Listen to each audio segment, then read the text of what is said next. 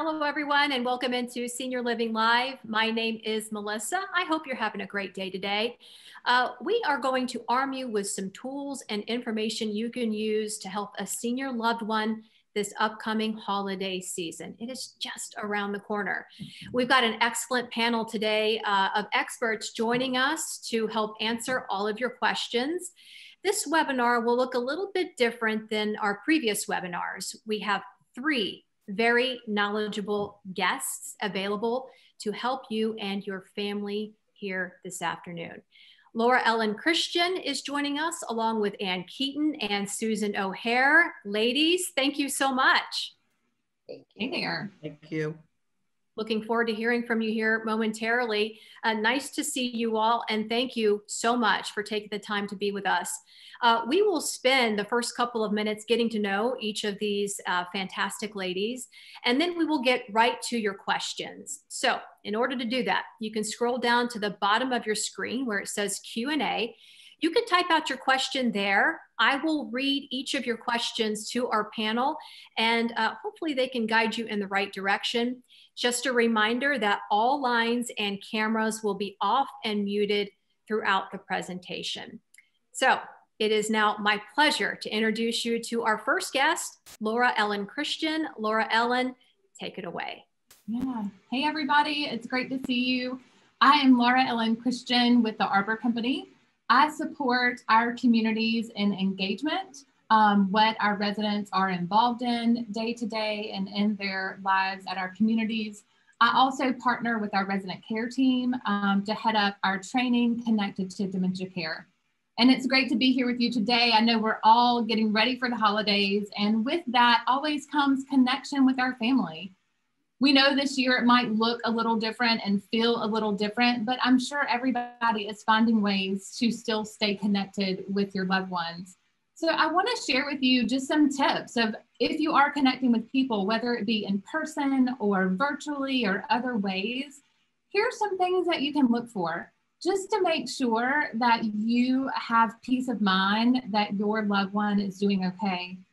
And we'll talk also about if you're noticing maybe something's not going okay, what are some ways that you can really wrap your arms around them? So, when you are connecting with your loved ones, I encourage you to kind of think about four buckets. Um, the first is health, and then safety, socialization, and cognitive functioning. So when you think about the health of someone, think about kind of from your own perspective, you know, how are we feeling? Are we feeling any pain? Are we starting to feel weaker?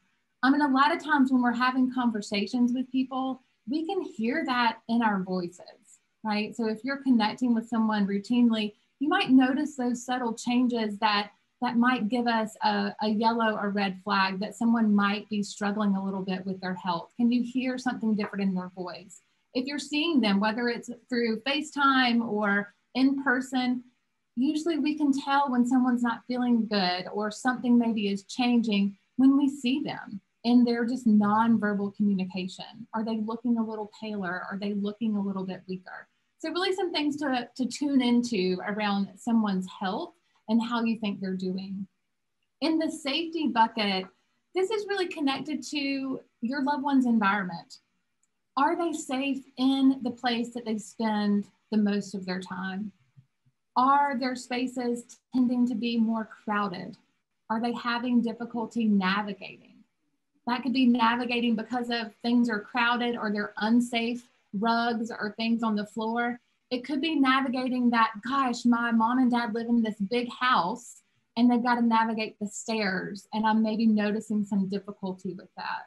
Um, have they moved down to the guest bedroom on the first floor because they're having a hard time navigating the stairs up to their room? Some things to look for. Also, who's close by? If they do have a safety concern or something happen, do they have neighbors close by? Do they have a system to call out for help? So those are some things that you can start um, tuning into around their safety. The other one is socialization. And I really want to make sure that um, I highlight for everybody this looks different for everybody. So if I've never been a social butterfly and I've never been the person that that goes out and about and has a huge friend group, right? That's not, it's not going to change for me. So really think about who is my loved one? Who have they always been? And then think about changes that you might be noticing compared to that. What I really like to encourage people to, to assess is does my mom or dad have meaningful engagement and connection to the outside world? Um, are they feeling connected to a sense of purpose as well as people that are comfortable for them? So maybe your mom was, you know, part of a bridge group and, and maybe that bridge group is kind of broken up and they no longer meet, right? Things to, to look out for. Maybe you're noticing or hearing that they're missing going to church when that was something that was really important to them. Maybe your dad stopped, you know, going up to the local coffee shop to meet up with his buddies. Just kind of listen out for what might be happening. And also, if they are vocal in voicing their sadness or their loneliness, they're kind of talking about that a lot more those can be some, some yellow or red flags. And then the fourth bucket I mentioned is cognitive functioning. So we all know some of those common things to look out for. You know, is my loved one starting to, to not remember as well as she used to? Um, are they starting to repeat themselves? But you can also look for things like, gosh, are they getting a little shorter with their temper, right? Or, or, or is it a lot easier for me to push my mom's buttons? um, than it was before? Um, are they making up a lot of excuses? So really toning into, you know, where we think they are. Their driving is also another big thing um, to assess. Are they getting lost um, when they're going to, to places that should be familiar? So those four buckets are really helpful and, and hopefully it's helpful for you to think about that in buckets so you don't get so overwhelmed of what is it that I should be looking for? So again, those are health, safety, socialization, how that connects to your loved one individually, and cognitive functioning.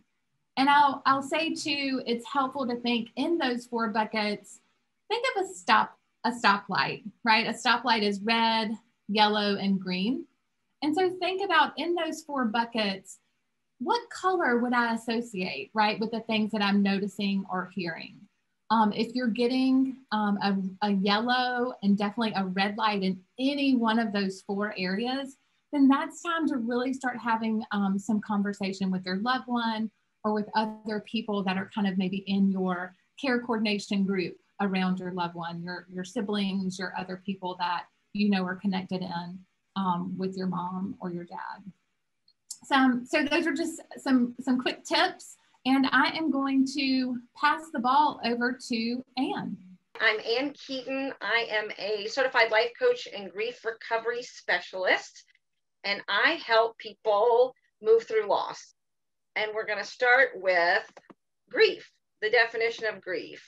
So, grief is conflicting feelings about the end of or change in a familiar pattern or of behavior. And um, so number one, notice that, well, number one, notice that it's probably a definition that surprises you a little bit because it doesn't say anything about a specific situation or specific feelings. Conflicting feelings about the end of or change in a familiar pattern of behavior. So um, it could be a positive change, it could be a negative change. And also notice that it certainly uses the word feelings, which lets you know that this is an emotional thing. And a lot of times, what happens with emotional matters is because we don't really do grief very well culturally, we avoid that and we tend to go to the intellectual. So if you're having a conversation with a loved one or even a less than loved one um, that you might have some responsibility for, uh, whether it's about like moving or just about the changes that you see in their patterns of behavior. Um, the temptation is to have an intellectual conversation with them. And yet, probably what they're going to be having is an emotional conversation with you. And it's like we're just talking on two different levels and we're not really connecting. And so they may be portraying their emotional truth, which is I'm scared, I'm overwhelmed, I'm worried, I'm stuck, I'm mad at these changes. And then we try and give them intellectual answers about like why this is going to be better and why it should be that way. And we just don't connect, right? Because we're having an intellectual conversation when what they're really having is an emotional conversation. Um, so it makes these conversations tricky and hard and like things that we often want to avoid. Um, but I want you to know, first and foremost, that we are talking about grief. We're talking about issues of grief, and it's it's deeper than just the practicalities. So moving, when we talk about moving, um, that is really one of the most overlooked sources of grief. Because think about that definition conflicting feelings about a change in a familiar pattern of behavior. When we move, everything familiar changes, right? So um, even if we don't like our current home and the home that we're leaving, we know it we know it well. We know every nook and cranny. We might love our yard. We know our neighbors our friends our religious communities our grocery stores our dry cleaning. We understand like where our stuff is in the grocery store right? So um, all those all literally all those patterns and behaviors change when we move which makes us inevitably have conflicting feelings, which means we're experiencing grief, right? Even if it's a move that we want to make, we're still going to have some conflicting feelings about that. Um, so, an important thing to know about those conflicting feelings are that they're natural, they're normal, and they're unavoidable. Okay. Conflicting feelings don't mean that you've made a wrong decision. They don't, they're not an indictment of you. Um, doesn't mean that you shouldn't be doing what you're doing.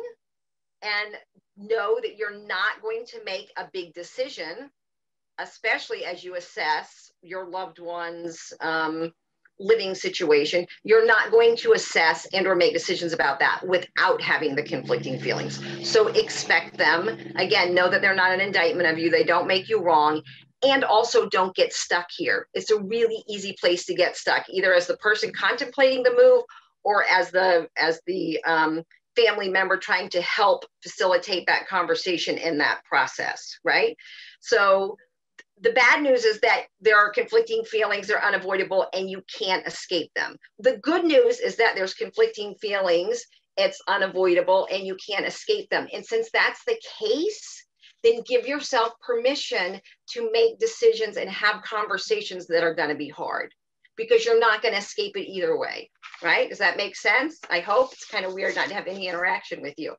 Um, lastly, like this isn't easy stuff, right? This isn't easy stuff, but you've done many difficult things in your life and you can do this too. Again, whether you're the person contemplating a move or you're the family member or support per, support person helping through this, deciding to move isn't easy. Staying isn't easy conflicting feelings with either subset. But if you wait too long and something bad happens, then that makes staying even harder, right? So don't wait, don't wait for a crisis to make the decision. Don't wait for a crisis to have the conversation. Start the conversation.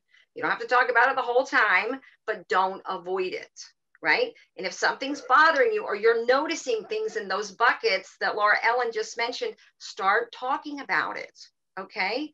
You can do this. It doesn't have to be bad, but it's important to do them. Be loving, be friendly, be kind, and be bold. All right. And have those conversations. Trust yourself, trust your family member. You can do this. You've done other hard things. Don't not do it. And with that in mind, I'm going to send it off to Sue. All right. My name's Susan O'Hare. My mom is a resident at Arbor Terrace in Morris Plain. She's been there for three years, and it was a hard decision to make, but it needed to be done for a lot of reasons. Exactly what um, Ann just said, that it was a lot of different things. And her main reason was she kept falling. And then they would come and get her. She had her button. The police would come, the ambulance would come, they'd take her to the hospital. Then she'd end up in the hospital. Then she'd end up in rehab. So that was the main reason why you know we couldn't keep doing this. It was crazy. We kept saying mom we can't do this. It's not you know right. And and each social worker at every location would say i can't believe she's 89 years old and she still lives alone. So we were feeling very guilty that maybe we're being you know selfish by leaving her there because that's what she really wanted. But really it was her safety that was the main thing and like you say then we'd feel terrible if she did really get hurt and every time she fell though she never got hurt because she goes down very slow so each time she fell it was never really an issue you know so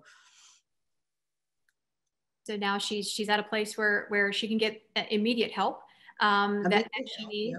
so um, as we uh, open up the, the uh, panel now for questions with Ann and Laura Ellen, um, I, I, guess uh, I'll throw the first question to you, Sue, um, okay. regarding the holidays and, and your mother in um, her co current community. How is that going to look for your family? Well, we're able to do a Zoom and we're able to see her outside on the patio. So we can do that. But this is the first year that she, we really haven't been able to take her out. So I don't know how that's going to work. She's not really happy about it. She's really been giving us a hard time the past few months because it's just been too much lockdown for her. And she is very social. So she doesn't like being stuck in a room and not being able to talk to people. She can, but it's five minutes instead of a half hour or an hour. Right. So the holiday is going to be a little rough for her, I'm sure. They're doing everything they can to have the Thanksgiving dinner and have the whole thing. And we will Zoom, but Zoom at her age, is very confusing to her. She swears that we're there and she starts to try to hand us stuff through the screen. And, you know, if we say we're going to the bathroom, she's telling us where it is at Arbor Terrace. Like it's it's funny, but it's really not funny, you know, but it is funny. So for a couple days after we do a Zoom, she gets very confused. So sometimes we're not sure if we should do it or not, but we're going to try it again for Thanksgiving. Wonderful. Um, well, I uh, appreciate your perspective. Um, you know, we have experts uh, who who uh, this is what they do for a living. They they're right. there to help our seniors and help um, families help their seniors. And then we have uh, uh, we, we've added you to this panel, somebody who's going through it currently right now with, with a family member. So we appreciate your insight uh, just as much. Sue, thank you so much. Thank um, you. So is a good time for, for those of you who are watching to submit any questions you might have uh, concerns that you may have leading up to the holidays regarding your loved ones who may be um, living at home, as Sue's mother was, or who may be in an assisted living community, um, and, and, maybe ways that you can uh, help your, your loved one at this time uh, as we do. Um, some of us won't be able to be physically with our our, our uh, loved one uh, for the holidays, but as she mentioned, Zoom is a good opportunity. How can we do this in a pandemic? Yeah, I think, you know, Sue mentioned Zoom. I know it doesn't um, work for everyone, but it does at least let you see and hear um, your loved one. Um, so, as much as you can connect through Zoom or other um, virtual ways, FaceTime and other things like that. But I think this is where we've really got to rely on each other.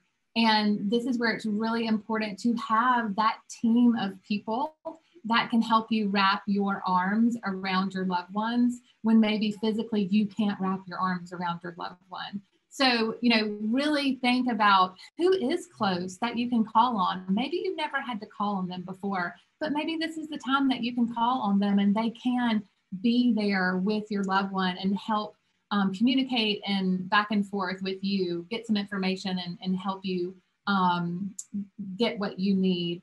Also, um, you know, connecting in with the pastor, the priest, um, other religious figures that your loved one might be connected with, giving them a call, um, close friends, neighbors. So it, it's really the time to lean on each other, right? And not feel um, like you're in imposition or feel guilty for reaching out and creating that circle of friends um, and that circle of um, that kind of care coordination is, is kind of what we call it in our community. So the doctors as well, bringing them into your circle.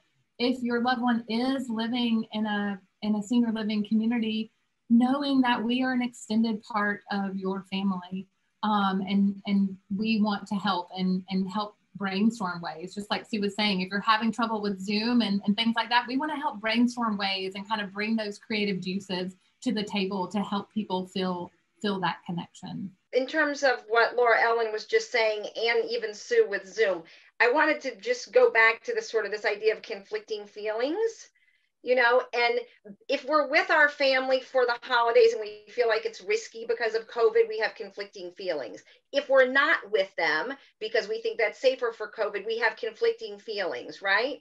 And so that either option, there's something that feels bad about either option you know, and just knowing that unfortunately we're in a situation where we have two hard options. Same thing, like if you if you have to call a neighbor to check in on your parents in a way that you've never had to do that before. You can have conflicting feelings about calling that person. You're going to have conflicting feelings about not calling that person and not enrolling them. And so, for there to be a lot of um, compassion for ourselves, for the situation, for our loved ones, and just knowing again that that we are kind of stuck with some bad options, you know. And how do we pick the how do we pick the subset that works the best for us?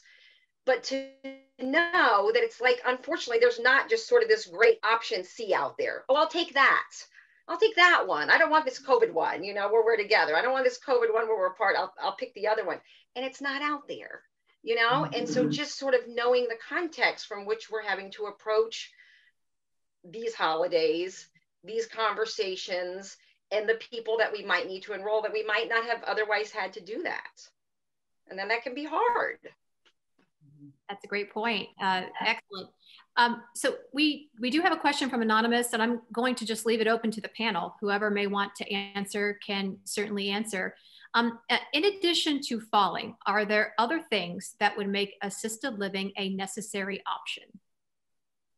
Yes, not being able to feed themselves or buy their groceries, quite a bit of options, and not getting as much socialization as they really need.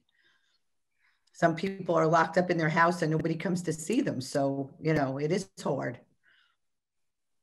There's a lot of reasons when it comes down to it. And sometimes it's your own feeling of security that you know somebody's watching your parent or your family member when you're you can't be there 24 7 so when they're in a, a, facility you know somebody's there all the time and they have that button to press somebody can come. So it is a security for both the family and i i think also the resident and i would i would love to to add in to sue thank you for sharing that sue i think that's right and um, one thing that I would add, which Sue mentioned a little bit, is with you know, with her mom, um, the falls never never got to a fall that was um, that was an injury or something you know catastrophic. But I think a reason to look for options is to be proactive, um, so that the fall doesn't happen as much as possible, right? Um, and right. not saying that that assisted living can prevent all falls either, but someone is there and we can be those eyes and we're kind of trained to look through those lens of health and safety and socialization and cognitive functioning. So oftentimes with with a lot more people around we can catch things a little bit sooner. So I, I just want to put that out there as well as it's a really great proactive move. And sue mentioned socialization that is a huge one that sometimes we often miss um, of how lonely our loved ones might be, um, especially if they're living alone or maybe um, they're they're living with their spouse, but their neighbors have moved or some of their friends have passed away. So really digging into the socialization. And like I was saying earlier, it's not that they're going to move in and all of a sudden become social butterflies if that wasn't who they were, but sometimes just knowing that a friend is next door that you can go talk to and you can go knock on their door or you can come down to the bistro and have a cup of coffee and you're going to be able to see some life and people buzzing around. That gives you a mm-hmm. really good feeling that having that cup of coffee on your porch where nobody's around at your home doesn't give you that same sense of warmth. Let's backtrack here. So we talk about um, uh, reasons why someone might need uh, assistance.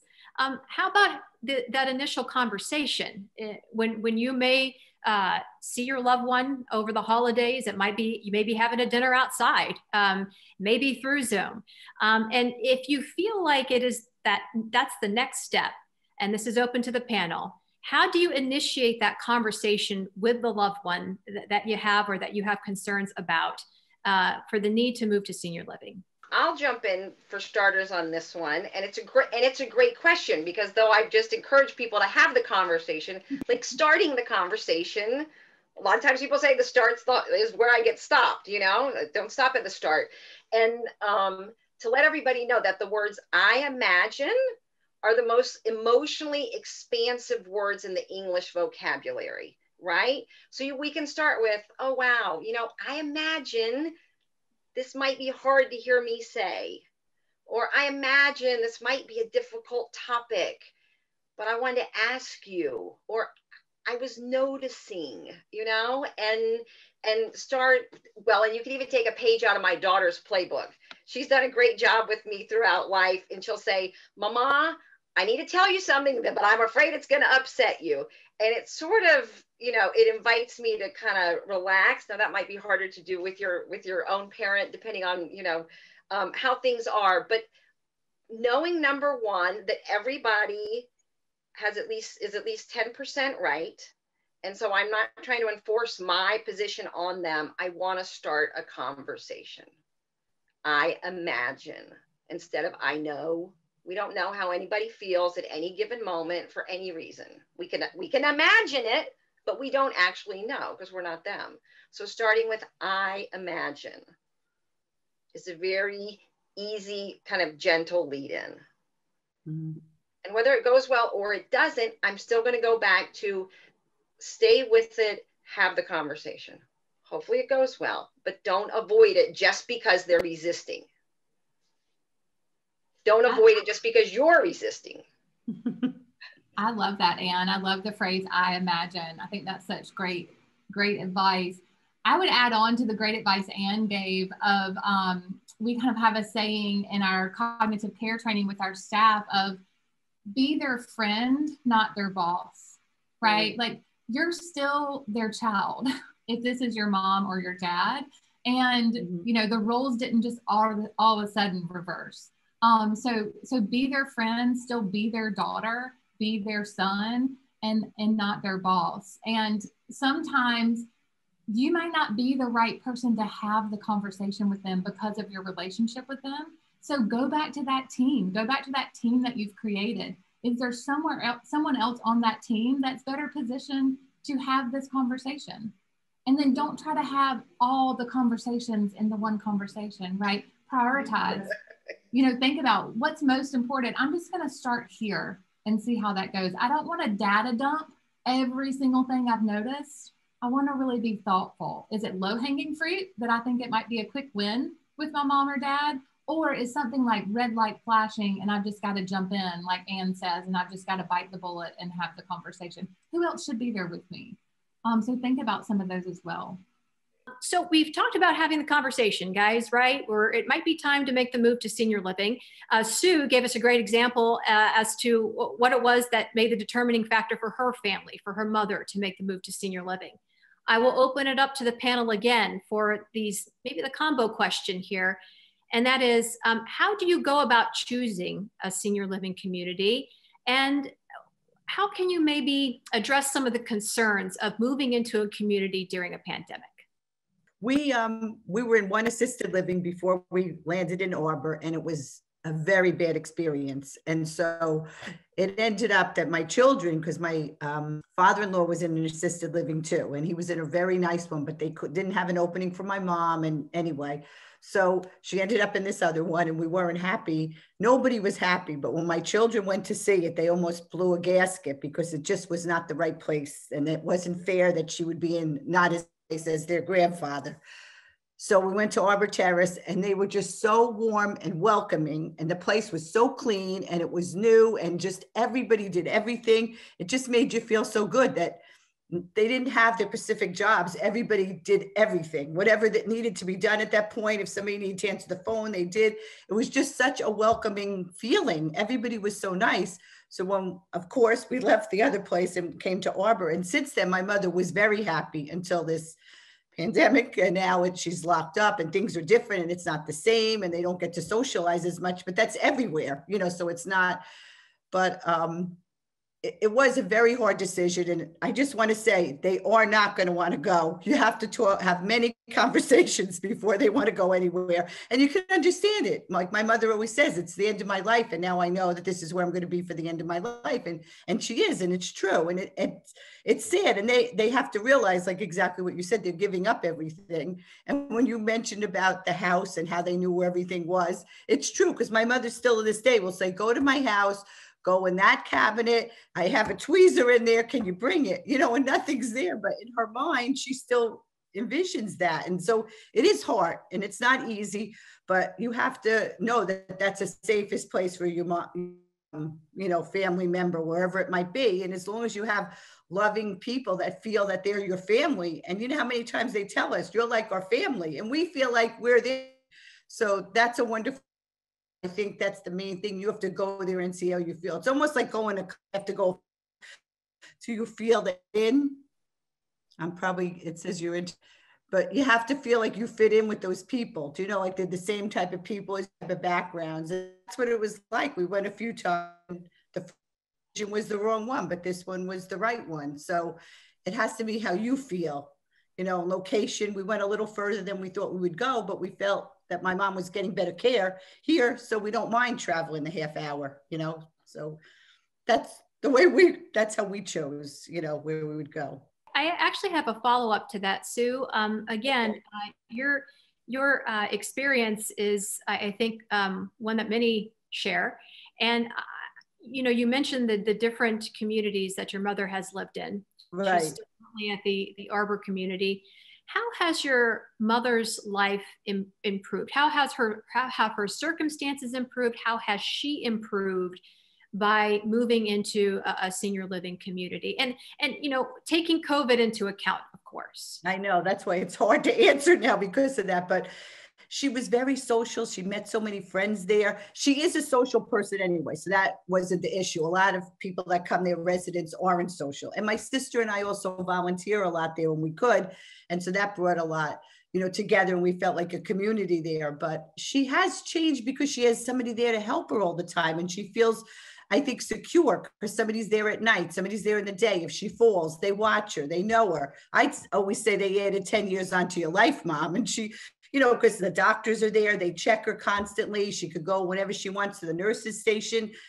I mean, it's just, it's a, it's really a wonderful thing. I always say, find me a place like this later on, you know, like it's just, they care about you and you just, so it has helped her in a lot of ways, but she still swears she could be home, although she can't because she can't move. But that's what I, they have, you have to be aware that that's how they're going to feel. And they all feel the same. I talk to all the residents when I'm there and they all wish they were home, but they know that this is the best place and they do enjoy it and they have fun and there's things that they do. And it really helps the person that wasn't so, so social. Like my mother was social. So thank God it kept up that way. But I feel these places help the people that aren't real social because they make you get out, they come and get you out of your room, they make you feel good about yourself. And that they never make you feel like you're like, you know, a problem or whatever. They always make you feel good about yourself. And that's really what you want. You know, you want, you don't want them to feel like, you know, they're a burden or they're a problem did I answer your question? Absolutely, you did. And, and I, am taking w- with me away what you said that it, you felt like it's given 10 years of, of life to your mom. And I, um, that's, that's huge. I mean, that's, that's the biggest take I've, I've received from that. So thank you so much for that perspective. That, that is, that is fantastic. Um, yeah. This is open to the panel. This is a question that we received uh, assisted living versus independent living. And that will be either for Laura Ellen Christian or for Ann. Uh, either one of you can uh, decide who wants to take that question. You know, I think um, the difference in independent living and assisted living is, you know, one is built and designed with care in mind. Um, it, it has the all of the social aspects and kind of the the lifestyle built into it as well. But the care in mind has definitely been been designed there, and it's at the ready, right? It's at your fingertips.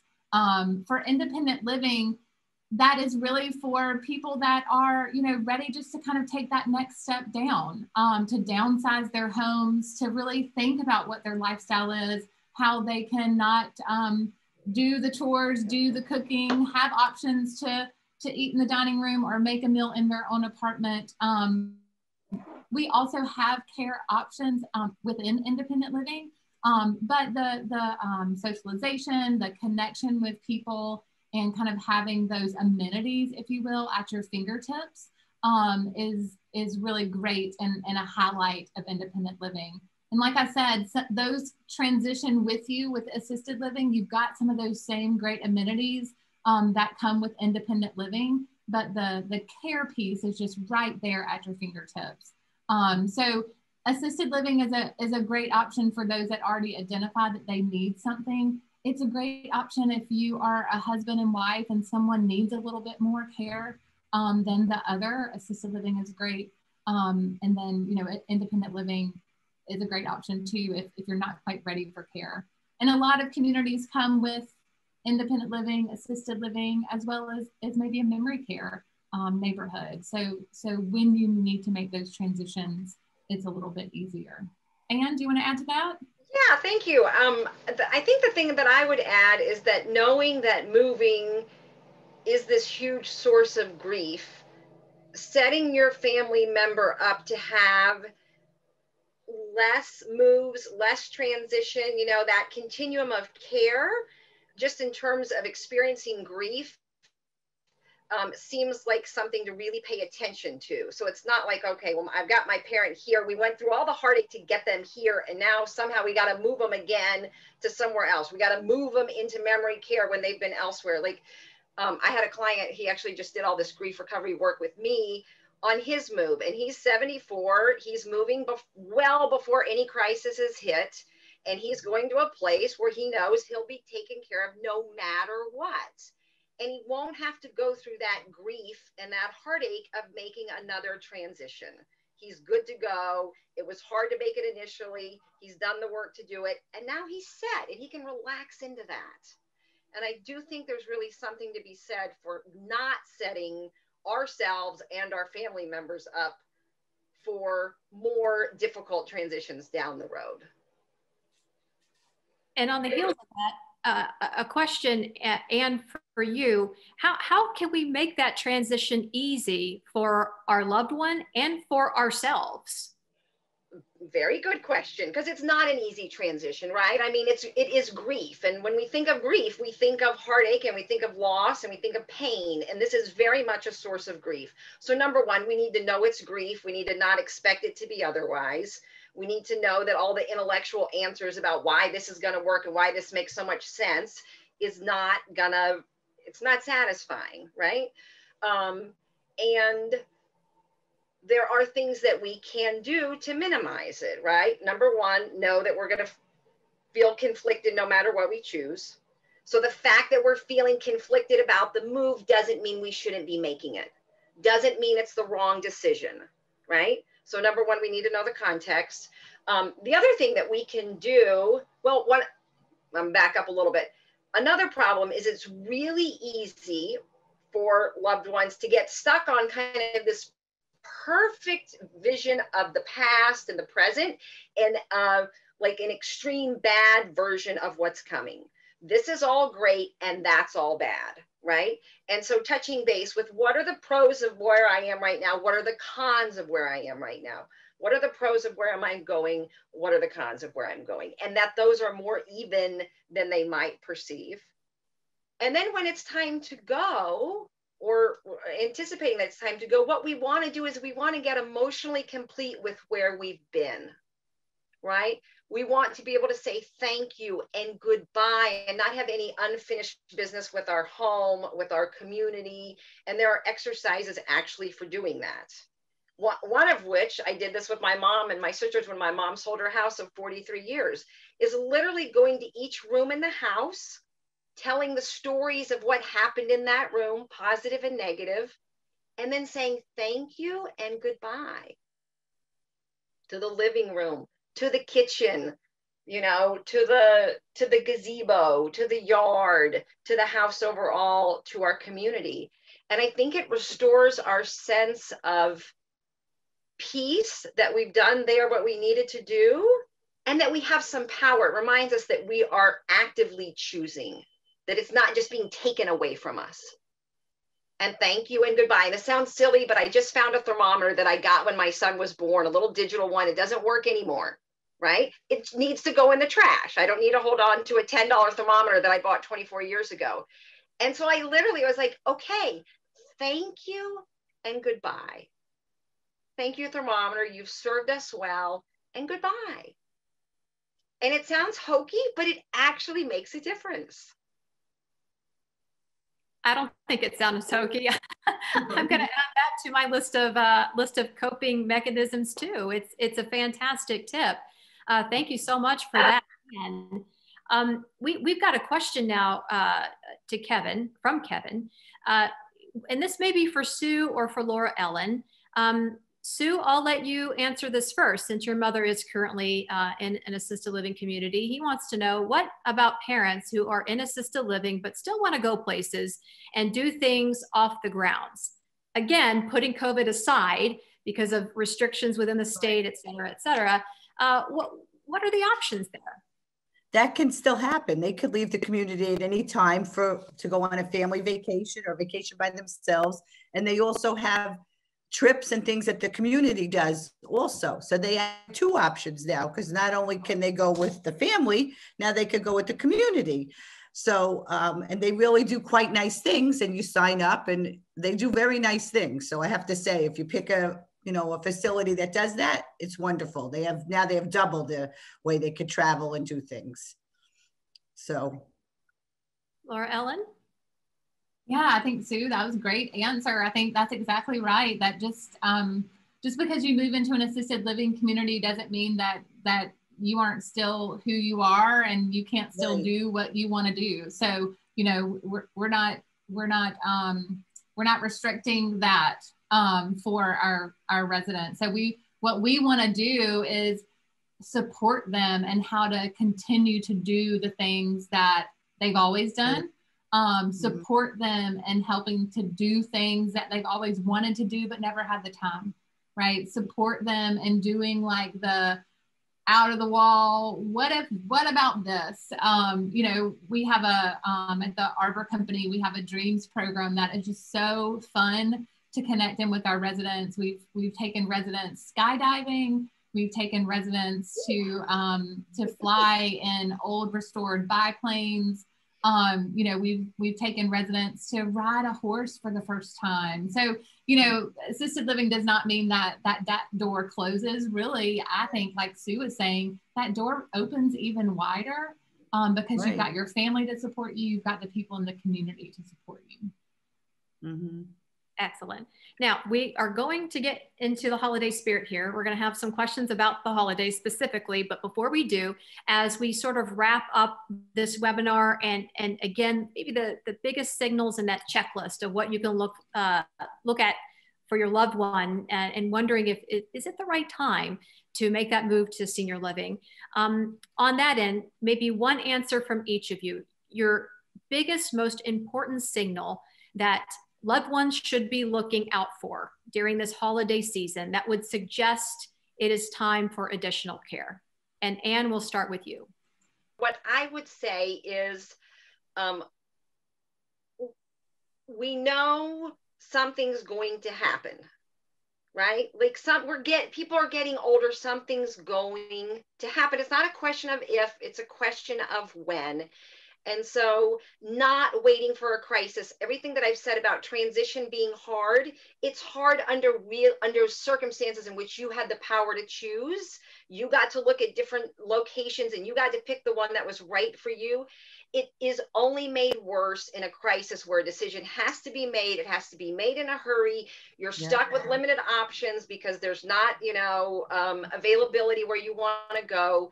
Like anticipate what's coming and plan in advance you know? So it doesn't have to be oh oh no all these red all the red lights are up. Like no we know it's coming. Don't wait for the red light. Mm-hmm. Don't wait. Our, our wise friend brand says you're either going to go too early or you're going to go too late. You know you can't find the perfect time. Go early go before you need it when you get to choose what you want for your future and your life. Not when there's a crisis and your kids have to decide and they're in the middle of a crisis. One piece of advice um, for me maybe it's just because of, of the role i serve and engagement but i really think the socialization um, how your loved one is feeling like they still have purpose in their life and kind of meaning and things to give back um, that to me is the sometimes the biggest thing, right? Our health concerns, our safety concerns, we're able to see those a lot more. They're kind of more out in the open, but really digging deep and making sure your loved one really feels that sense of purpose and, and how you can um, help them do that. How you notice when that's missing? Um, usually it's in the sadness and the loneliness and, and really taking note of those things, which sometimes is easy to, to overlook. So, so really think about that. How can you help your loved ones still feel like um, that they have meaning and they have things left mm-hmm. to give because they do. Um, and then, you know, of course, the big red flags are, um, you know, if your if your loved one is just watching TV all day, if if they're eating freezer meals all of the time, you know, if they're looking in the refrigerator and they don't have those healthy choices, no matter what that might be as a healthy choice for your life. But if you're noticing those healthy choices, either they're not making them, they're not making good choices, or the ability for them to have that as a choice is becoming more and more limited. Sue, what would you add? I would just say you're right. You have to make them feel important. And we try to do things on the holidays that we would go there and, you know, make an issue or take them out. And we buy presents that my mom could give to everybody. So she feels like she's still involved. And well, you want to give this or you want to do that or you want to do this. We try to let her have you know, make some decisions on her own. Because you're right. Because once they go in assisted living, they do feel like everything's been taken away from them all of a sudden, even though it hasn't. They have that feeling because they're told when they, you know they have a time when they can eat, they have a time when they do this, they have a time, and they're not used to that. So that's why we always try to let her have some decisions. Like, do you want to come in? Do you want to go out? Do you want to sit, you know? So I agree with you. And I also agree with Dan. Don't wait till it's the time where you have to just pick any place. You want to pick the right place at the right time. And there are places that will let you stay for like a couple weeks. And you could even mention that, you know, like sometimes when people go away, like the, their children go away, they will put their loved one in an assisted living for like a month if they're going to be gone and they could see how they like it, you know? So that's a lot of option too that I didn't realize that you could have until we started to look into that. And that was a, a almost a way to try to get my mother in to say, Mom, let's see how you like this place. Let's see what it is. You know, how, you might like it, you might not. Maybe you're not ready yet. Like you said, maybe we'll find out you're not ready. Maybe we have to wait another year. Like you don't know. But they do like to have options and they do still like to feel that their their decisions still count and they still have some say in stuff because it does kind of get taken away some of it.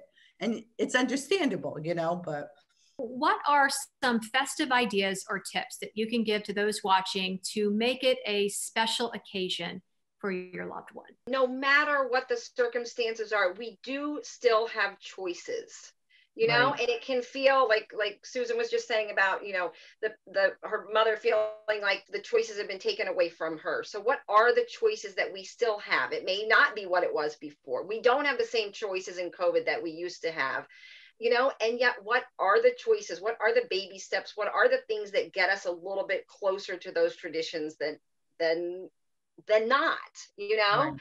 that we don't have to just throw it all out because there's um, because there's COVID. Like I'm having, th- I'm hosting Thanksgiving for the first time ever, you know, and and we're going to do it outside and we're going to do it on the deck and we might be cold and you know sort of figuring out like how do you make it silly and fun like would we roast marshmallows which we've never done outside before on Thanksgiving because we've never had Thanksgiving outside before, you know, but like starting to think like, okay, so what are the what are the choices that I still have here? We always still have choices like the, if there's a certain thing like my mother likes a certain mushrooms or something like that we could bring that and they can incorporate it with their meal. So things like that that's what we want to do. And, and just like you know we all get together and talk so we really can't do that. But on zoom we're going to try. We just hope she doesn't get a little wacky for about a week because she doesn't understand it. It's really so funny but it's funny but it's not you know but you can understand like we have trouble we're not even as old as her. So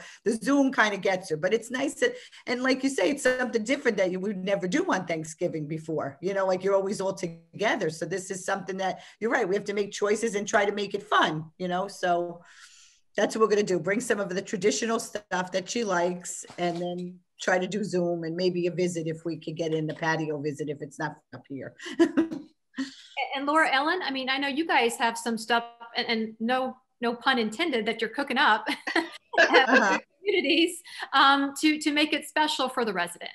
Yes. Yeah, yeah, that's right. Um, you know, all of our communities have been so creative during this time, and mm-hmm.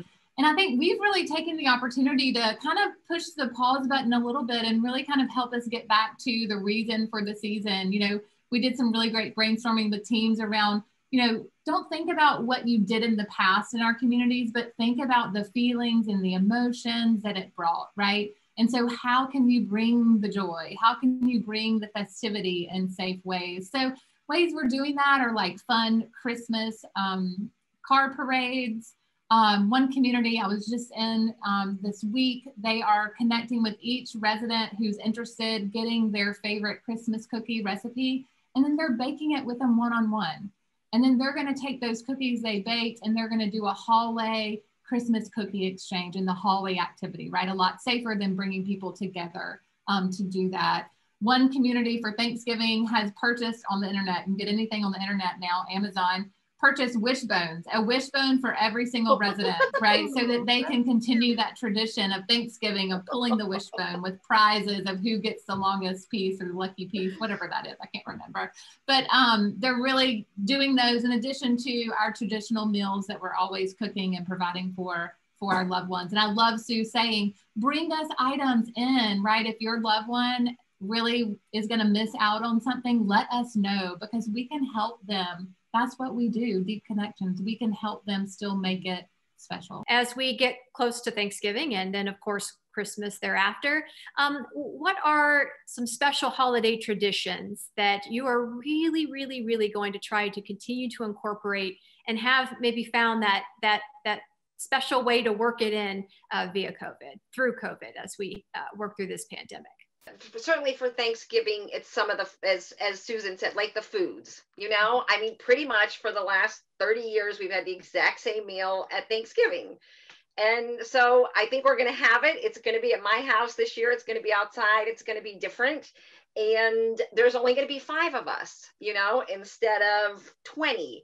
And yet having those same foods, those touchstones, I think regardless of a smaller crowd and regardless of an outdoor setting, like you know, that's what just sort of helps keep that alive. That that's what we're gonna that's what we're gonna do. And um, you know, it may be that we end up doing a Zoom thing too. And one of the things that's cool about Zoom is that there might actually be more people who can participate than would had we been able to do it in person you know mm-hmm. the the more extended family gets now we all get to join together on thanksgiving in a way that we never would have before. We would have been there's the illinois family and here's the georgia family you know? And now there's an opportunity for us all to get together on covid. So it's some of it's some of both. It's like the old stuff and then some new stuff and kind of making it its own fresh thanksgiving I would I would add to that, you know, as I said, kind of pressing the pause button. I, I, think that's what we're kind of doing as a family and really getting back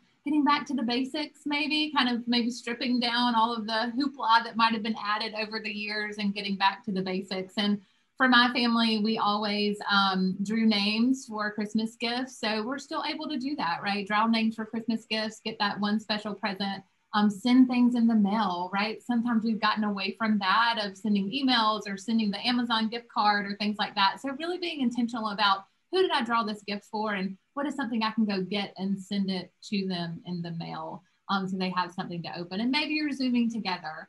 Um, you know, we always have a, a special cocktail when we gather for our family. So sending out that recipe to folks and, and maybe doing a Zoom where you're all you know making that drink who made it the best? You know who who really botched it up? Um, things like that. So i think for zoom calls adding a purpose to it kind of um, something that people can bring to it or or do when you're on the zoom i don't know if that might help sue and, and kind of small chunks right of right. of what can we be doing you know that's kind of fun but small chunks get leaves you with that good feeling that you're going for.